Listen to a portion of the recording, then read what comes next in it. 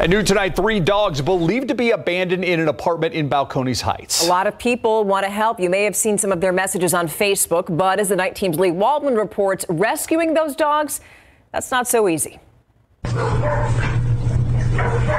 It was just out of character to see them that distressed those many days in a row. This neighbor didn't want to show her face out of fear of retaliation, but she did share her video of three dogs believed to have been abandoned at the Coral Gables apartments in Balcones Heights. Each minute is going by, these animals are scared, they're lonely, they're in the dark. She says the animals were alone in an apartment for a week.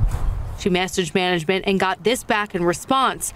We cannot do anything with abandoned dogs or enter his unit without permission. Not comfortable. Lindsay Haynes is the president of the property management company that oversees the apartments. And we have some very specific restrictions on how we can remove pets. Our lease says that we have to give a 24 hour notice. Haynes said the situation was brought to her attention Sunday, and to her knowledge, it had been a shorter period of time the dogs were alone.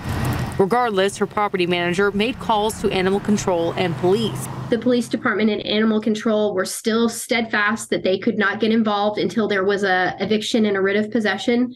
Haynes says it wasn't until the story was shared hundreds of times on social media that Balcones Heights officials got involved and the dogs were removed. Many pieces. Lorenzo Nastasi with the city says it's not as simple as going in to rescue the dogs. You have a process of notifications and things like that. It's complicated by the fact that this is private property.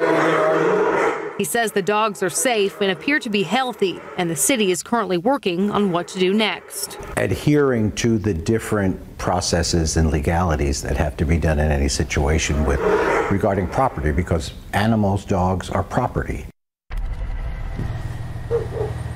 Again, those dogs are safe, but city officials have not told us where they're being held. As of tonight, no charges of animal cruelty have been filed against the owner of those dogs. I'm told that an investigation needs to be done before anything like that can happen. Haynes says they'll go ahead and proceed with either an official eviction notice or a notice of abandoned property for the apartment's tenant.